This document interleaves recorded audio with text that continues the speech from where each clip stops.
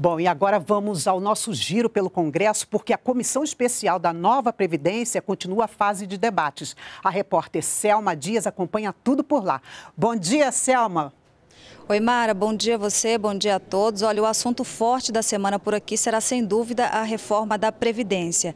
A discussão do parecer do relator Samuel Moreira recomeça amanhã, será a terceira sessão de debates, ainda tem ali 78 deputados na fila aguardando para se posicionar sobre o texto, e isso indica que essa fase né, só deve terminar na quarta-feira. Depois disso, né, a votação pode acontecer a qualquer momento, ainda não tem acordo, a oposição promete dificultar, mas o governo governo acha que tem força para colocar esse assunto na mesa. E aí, no meio disso, tem um detalhe. Hoje é feriado de São João, a semana é de festas pelo Nordeste e, tradicionalmente, os parlamentares costumam ficar nos estados. Isso pode esvaziar a casa e também dificultar a formação de quórum para essa votação.